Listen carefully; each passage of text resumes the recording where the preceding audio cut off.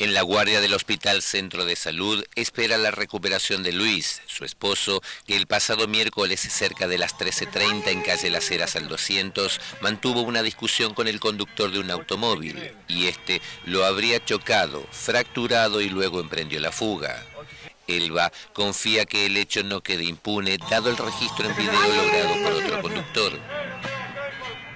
Él dice que venían discutiendo con el del auto porque el auto lo habían cerrado y se, hizo una orilla para, eso me contó él, se hizo una orilla para, pensando que el, auto se iba a bajar para que peleen y no, o sea, él se ha frenado en la moto y el auto eh, hizo marcha atrás y lo chocó de lleno. Ha acelerado el auto y lo ha chocado él y lo, y, lo ha hecho dar con, un, con otro auto que estaba estacionado así, él la quedó en el medio. ¿Y después? Y después se hizo marcha atrás y, y la intención pareciera de él era volverlo a chocar y, la, y como la gente empezó a gritarle a, pedir auxilio, eh, se, ha, se ha fugado el auto, lo ha dejado él tirado ahí. Y él cuando se quiso parar se ha caído porque estaba quebrado, tiene una quebradura expuesta en la pierna derecha. Por eso está internado hoy. Claro, está internado y, bueno, tenemos que esperar ahora hasta que los médicos nos digan para conseguir clavo y tienen que poner clavo y, y plaqueta, no sé, algo así, me dijeron. Para Elba, afrontar ahora sin recursos la operación de su marido, Luis Daneri, resulta casi imposible. Él trabajaba de mensajero y esta situación la dejó con sus hijas menores de edad sin los ingresos mínimos necesarios que tenía a diario para la comida, a partir del trabajo que él realizaba en su motocicleta. Y nos complica un montón porque él, trabajaba de trabajaba de servimoto, o sea, él eh, utilizaba la moto, él no tiene un trabajo estable, él trabajaba de eso, eh, digamos, un trabajo día a día. Y, bueno, con esto que le sucedió ahora no hemos quedado en nada, sin él trabajar y yo con mis dos hijas. ¿De qué edad? Dos eh, de, de 15 y de 6 años.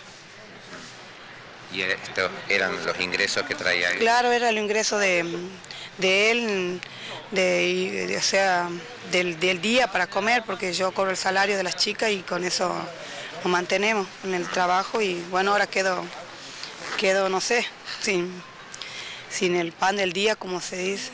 Además de buscar recursos para comer y para hacer operar a Luis, les queda la tarea de llevar adelante la causa judicial por el choque, tarea que al parecer ya comenzó a encontrar algunos inconvenientes. No, no pareció, él se dio la fuga y la policía, yo fui a la comisaría y no me quisieron tomar las declaraciones, decían que, ellos ya habían tomado medidas porque ya fueron a, la, zona del hecho y y me dijeron que le habían tomado declaración a mi, marido y yo cuando conversé con él después me dijo que no, que él no, le, no, habló con ningún policía.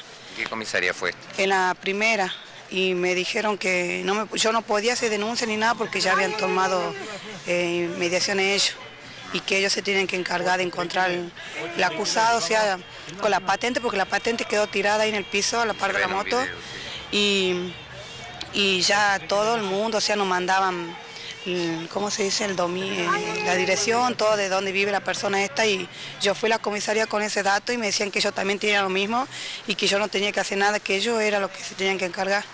Pero hasta el momento no me llamó ningún policía ni vino a decirme, mire, ya lo encontramos al, responsable ni nada por, ni nada por el estilo.